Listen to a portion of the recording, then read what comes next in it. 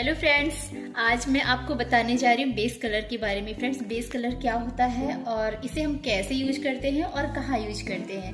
Friends base colour वो होता है जो हम अपने ग्रे हेयर को या फिर हमारे जो सफ़ेद बाल हो गए रहते हैं, उनको हम कवर करने के लिए करते हैं। उसे हम बेस कलर कहते हैं फ्रेंड्स और जिसे हम स्कैल्प पे यूज़ करते हैं। तो चलिए इसके बारे में आपको पूरी जानकारी देती हूँ। तो फ्रेंड्स ये देखिए मेरे पास कुछ कलर ट्यूब हैं।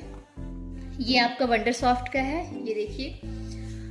और ये वाला मैट्रिक्स का है, देखिए फ्रेंड्स ये देखिए, ये मैट्रिक्स का है। और फ्रेंड्स ये जो मैंने पहले लिया था मैट्रिक्स का, वो वाला ये बॉक्स है। और ये जो ये मैंने अभी अभी लिया है तो इसका जो पैकेजिंग है, वो थोड़ा चेंज हो गया है फ्रेंड्स ये देखिए। तो फ्रेंड बेस कलर क्या होता है और इसे कहाँ यूज़ होता है, देखिए।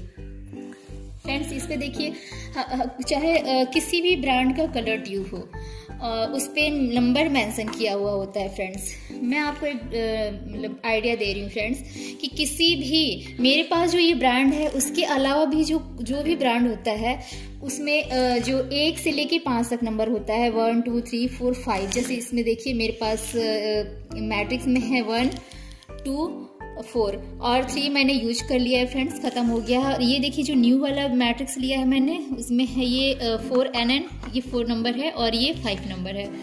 और ये देखिए वंडर सॉफ्ट का मेरे पास है फोर नंबर थ्री नंबर और five point four number friends ये ये जो आ, सिर्फ़ नंबर दिया हुआ है one two three four five वो हमारा बेस कलर होता है। उसमें कोई भी कलर मिक्स नहीं होता। जो जो जो इस पर लिखा हुआ होता है जैसे लाइट ब्राउन है तो ये आपका लाइट ब्राउन ही कलर आएगा। और ये मीडियम ब्राउन है ये पूरा प्योर मीडियम ब्राउन ही कलर आएगा। लेकिन जो फ्रेंड्स ये पॉइंट फोर करके दिया हुआ है यहाँ पे या फिर यहाँ पे देखिए पॉइंट फाइव वन दिया हुआ है।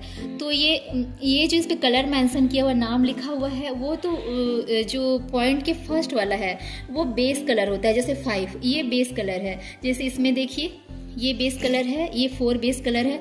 लेकिन जो पॉइंट के बाद वाला जो नंबर दिया होता है फ्रेंड्स वो है रिफ्लेक्शन हमारा। जैसे ये फाइव पॉइंट वन है तो ये हमारा है लाइट ब्राउन इसमें ऐश का थोड़ा सा रिफ्लेक्शन ठीक है फ्रेंड्स जैसे आपका ये दिया हुआ है, ये ब्राउन नंबर है फाइव नंबर ठीक है? लेकिन इसमें आपको कॉपर का रिफ्लेक्ट जब भी आप बेस कलर रूट टचअप करेंगे तो आपको इसमें कॉपर का रिफ्लेक्शन आएगा फ्रेंड्स ठीक है? तो फ्रेंड्स ये जो कलर है, ये सारा बेस कलर है।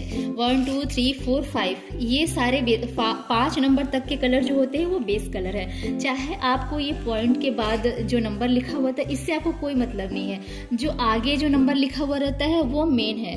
वही बेस कलर है।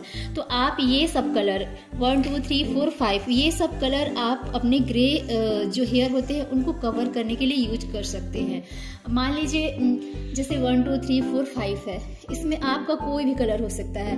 किसी का कलर ब्लैक होता है, किसी का थोड़ा डार्क ब्राउन होता है, किसी का लाइट ब्राउन होता है, उस हिसाब से ही आपको कलर चूज़ करना है, ठीक है?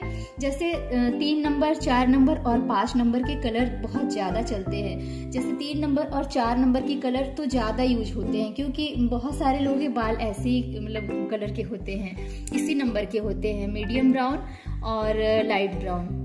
कोई भी डार्क कलर पे नहीं जाना चाहता। जैसे एक नंबर और दो नंबर के जो कलर होते हैं, बहुत ज़्यादा डार्क ब्लैक पे चले जाते हैं डार्क ब्राउन पे चले जाते हैं। तो इससे अच्छा है कि हम चार और तीन नंबर ज़्यादा यूज़ करें।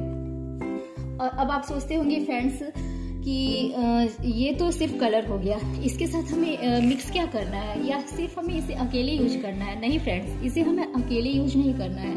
इधर देखिए फ्रेंड्स ये है डेवलपर ये मेरे पास मैट्रिक्स का 20 वॉल्यूम 6 परसेंट है और ये मेरे पास वंडर सॉफ्ट का 20 वॉल्यूम 6 परसेंट है। फ्रेंड्स, कभी भी आपको अगर स्कैल्प पे अपने मतलब जो भी स्कैल्प पे जो कलर करना है और रूट टचअप करना है या फिर अपने रूट टचअप ग्रे कवरेज या अपने सफ़ेद बालों को काला करना, ये सब एक ही है, ठीक है?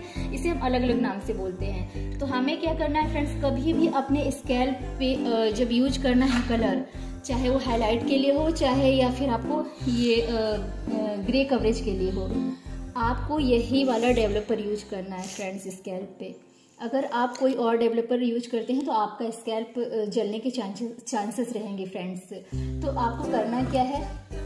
ये वाला कोई भी ब्रांड का, ये वाला ही नहीं, कोई भी ब्रांड का आप कलर ट्यूब ले सकते हैं और ये 20 वॉल्यूम डेवलपर इन दोनों को मिक्स करना है। अब आप सोचेंगे कि इसे मिक्स कितना कितना करना है, इसका रेशियो क्या होता है? तो फ्रेंड्स ये देखिए, आपको ज़्यादा टेंशन नहीं लेना है। ये जो कलर ट्यूब होता है, उस पर आपको ये बहुत अच्छे से मैंसन किया हुआ रहता है। फ्रेंड्स कि आपको कितना यूज़ करना है कलर कितना लेना है डेवलपर कितना लेना है। तो ये देखिए फ्रेंड्स यहाँ पे one is to one point five का रेशियो लेना है यहाँ पे। यानी नब्बे ग्राम अगर कलर लेना है तो आपका डेवलपर हो जाएगा एक सौ पैंतीस एम एल ठीक है फ्रेंड्स जैसे ये मेरे पास स्टिक्स का हेयर कलर है तो इसमें अलग है देखिए इसका रेशियो अलग है जिसमें वन इंस टू वन का है। इसका मतलब हुआ बराबर बराबर। अगर हमारा तीस ग्राम कलर है तो तीस एम ही आपको डेवलपर भी लेना है। और आपको कुछ नहीं करना है फ्रेंड्स बस इतना ही है। आ, कलर मिक्सिंग का जो रेशियो होता है हर पैक पे आपको दिया हुआ है। इन दोनों को जैसा बताया गया है वैसा मिक्स करना है।